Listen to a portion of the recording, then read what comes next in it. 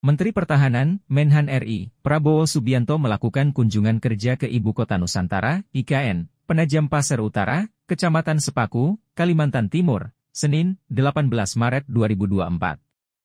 Kunjungan kerja kali ini dalam rangka peninjauan tata ruang IKN serta persiapan upacara memperingati Hari Kemerdekaan 17 Agustus 2024 yang akan dilaksanakan di IKN, Kalimantan Timur.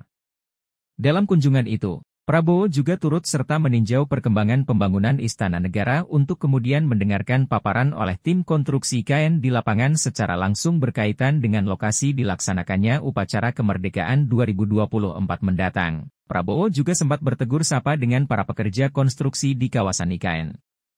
Diketahui, Prabowo tiba di IKN pukul 8.40 Wita kehadirannya disambut oleh Pangdam Enam Mulawarman, Kabaranahan Kemhan, Staf Khusus Bidang Keselamatan Publik Kepala Otorita Ibu Kota Nusantara, OIKN, Deputi Bidang Sarana dan Prasarana OIKN, Karo Humas Sejen Kemhan, Kapuskon Baranahan Kemhan, PJ. Bupati Penajam Pasar Utara, PPU, Kapolres PPU, dan Dandim 0913 Penajam Pasar Utara. Selanjutnya, Prabowo bersama Pangdam Enam Mulawarman Mayor Jenderal TNI Tribudi Utomo. Staf khusus Menhan Bidang Manajemen Pertahanan Legend TNI, Purnawirawan, Jafri Syamsuddin, Kabaranahan Kemhan Marsda TNI Yusuf Jauhari, PJ. Bupati Penajam Pasar Utara, PPU, Makmur Marbun, melakukan briefing internal di hunian pekerja konstruksi IKN. Usai melakukan peninjauan, Prabowo diserbu salam dan swafoto oleh para pekerja setempat dan kemudian meninggalkan IKN untuk kembali bertugas di Jakarta.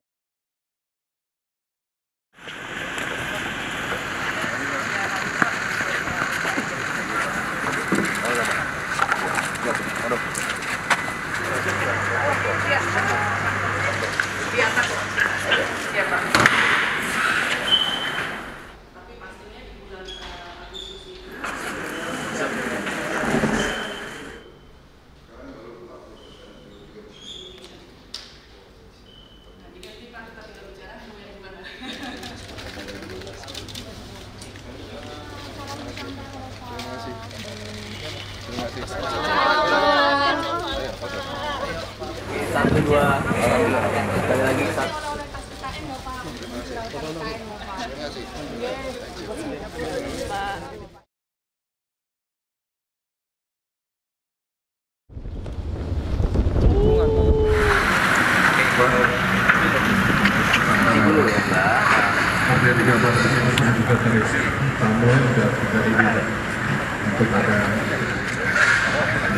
Jadi kalau kalau bisa diairi eh, sebelum matahari mataharinya naik ya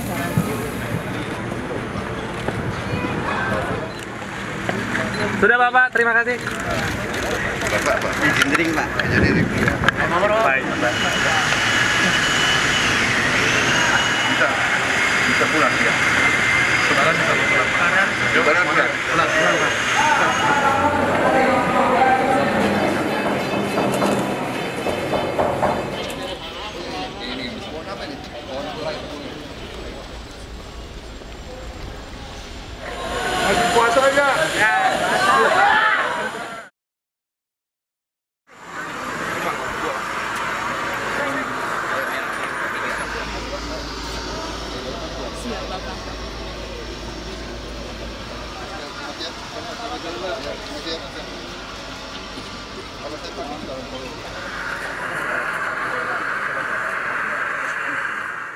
Jangan lupa subscribe ya.